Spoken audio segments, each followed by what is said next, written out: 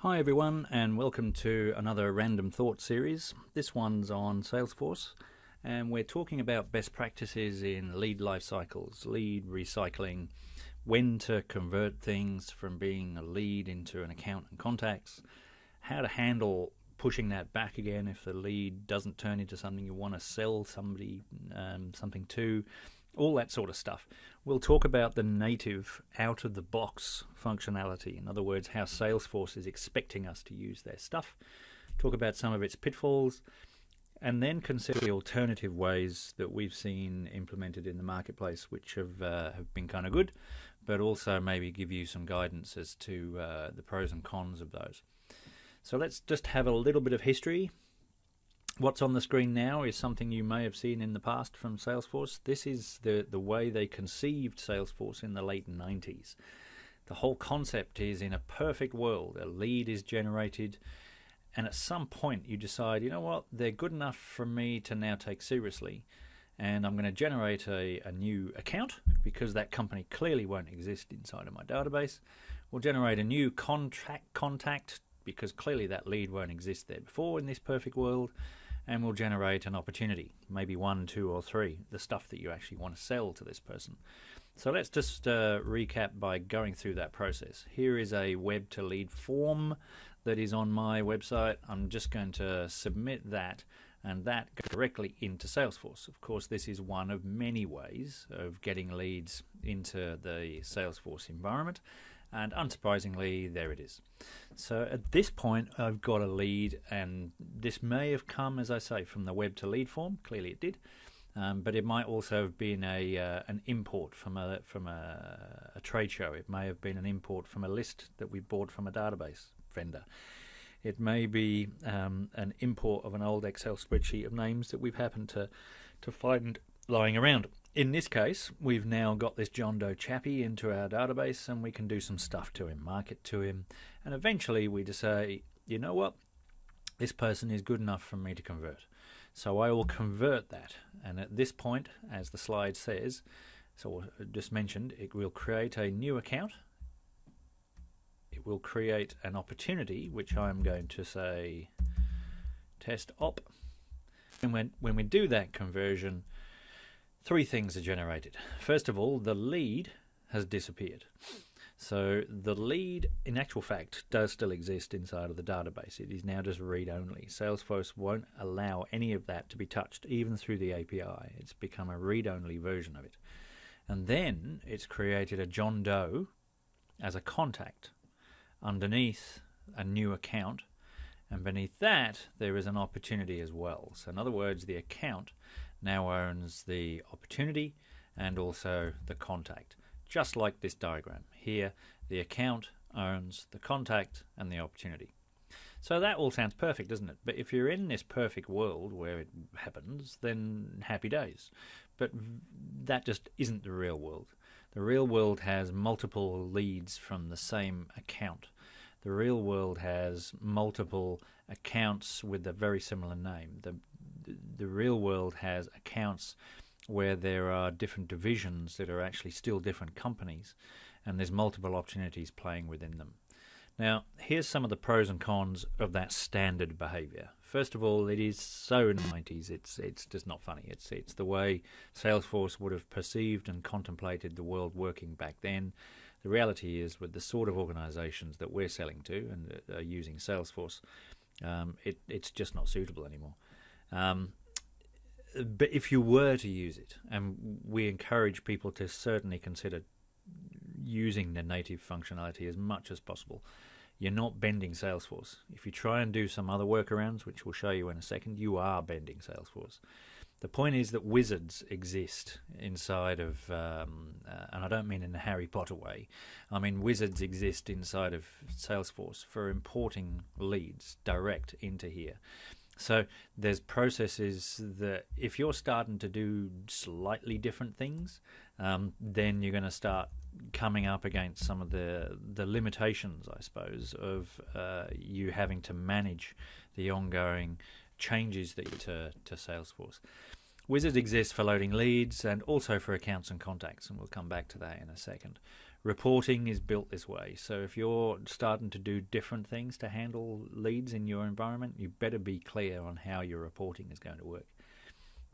Um, but one of the well, there's a bunch of cons here. It's just not intuitive to have leads separated from accounts and contacts. So if you're working in a major corporation and um, uh, you are working with a major bank, um, if somebody else who perhaps isn't in your division, if you're the enterprise sales guy, you need to know everything about that bank. It's not acceptable for somebody else within the leads area of Salesforce who may or may not check that you're the account owner at the account side, and that person might not even have access to your records because you own that account. It's just not acceptable for that person to be able to see and working the humans in the leads area just because they've been loaded in there. You can't group together people from the same company easily. And the reason I say that is that leads are completely separate from accounts and contacts. Indeed, when you come when it comes to actually building reports, you will notice that the standard um, uh, functionality that Salesforce provides says, right, what would you like? Would you like a report on leads, or would you like a report on accounts and contacts? And typically, those two things are immensely separate, and Salesforce goes out of its way to um, to, to keep them separate. Um, so here's another one. Let's just say that you've got an account to whom you've sold maybe 30 different products. If a new lead comes in from a new area, how do you handle that? Should you keep the lead separate or should you immediately convert it and put it under your accounts with a new opportunity? Um, all of these things are up for, for question. And one of the other things is if, if we go back to this world where we've converted a lead to an account, and let's just say it is the first time you've done that, what happens if you then don't make the sale? Do you pass that lead back? Well, you can't. There's no way of unconverting a uh, an account and a contact and an opportunity. Once you've done it, it's a once in a lifetime thing. What you would need to do is delete the account and re-import the lead. That's something that you wanted to do. And then there's lead recycling. So, when do you say that it's qualified enough to convert? Now, I know you can put standards in place and you can talk to your sales chaps about what is a qualified lead and what isn't. But always there is this discussion between leads, accounts, and contacts and when you go about doing it. The convert, I mean. So, with with that in mind and all of these pros and cons, um, what are some of the ways around this? Well, here's one um, and it works for some organizations. Um, first of all, uh, you go and you change the native behavior to say that every lead must have an associated account. Now, that of course would certainly alleviate our, our problem here. Whereas um, you can't easily group together people, all, all humans, all contacts and leads from the same organization. Well, you can here because not only would leads be associated with accounts, but so would uh, contacts. So if I hop over into Salesforce, I'll show you just how easy it is to actually create such a, a lookup. Any system administrator worth his salt would be able to do this in just a few minutes. Whether it makes sense to do so within your organization is something slightly different. But what I'm going to do is I'm going to create myself a new custom object on the leads ob- uh, sorry, a new custom field on the object called leads and I'm going to create this thing called a lookup relationship. You can't put a master detail relationship on leads for those of you who are interested, you, but you can say that I want to have a relationship between the lead and an account. Click on next, and this will take me just a couple of seconds just to set up. I'm going to call this account name, and that will do. Let's move on. Add this to the page layout for leads. And we're done. So now I'm going to go to um, the page layout for leads and I'm going to do a couple of things. First of all, I just want to make this a little bit easier for us to see what we're working with by moving that to moving that to the top. And whilst I'm there, I forgot to do it. I'm just going to make that a required field. Okay, so that's it. That's all I've done. Now I'm going to go back to the leads area and I'm going to create myself a new lead. I can't work with John Doe, of course, because John Doe has been converted.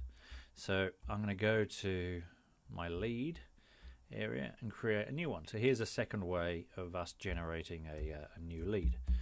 Um, and I'm going to call this Jill Doe.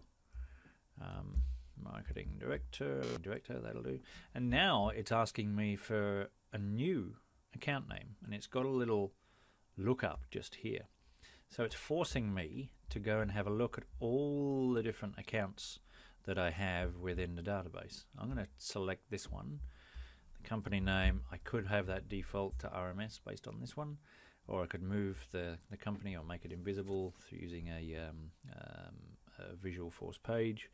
Um, and I would just go through the, the normal process of, uh, of, of, accepting or, or, uh, or filling out all of my lead information. Click on Save and it's now generated. Now what that's done is if I look under the account name for RMS, it's not only got the contacts beneath RMS, which is John Doe, and the opportunity, but looky down here, it's also got this leads thing down here, which is so. So now, if I was to go and look, as I would ask my account, uh, my system administrator to do, and I customize the accounts page, I can move that section for leads much higher up so that I can now have all of my all of the human beings that are within the organization right next to each other. So one of the biggest problems that I had on the uh, um, on the PowerPoint slides a few moments ago was I can't keep all of my leads and my contacts, all the human beings together within the same company. It's just not intuitive to have those two things set apart.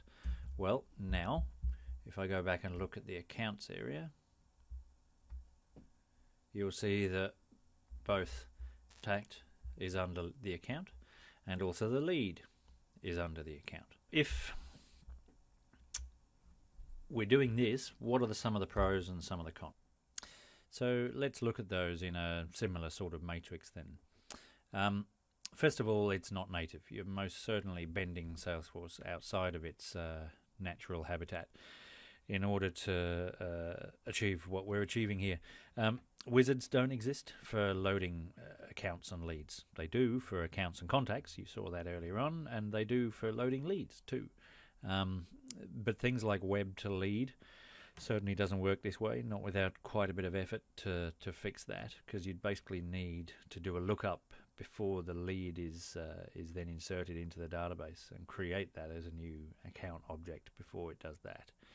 Um, and reporting built this way, as you saw earlier on, you can have leads uh, reports for leads, and you can have reports for accounts and contacts. You typically can't do both, and Salesforce does go out of its way, as mentioned before, under things like campaigns, where it's hard um, to do a report on certain things um, or uh, for uh, campaign members that are leads, and also for contacts. It's it's not straightforward.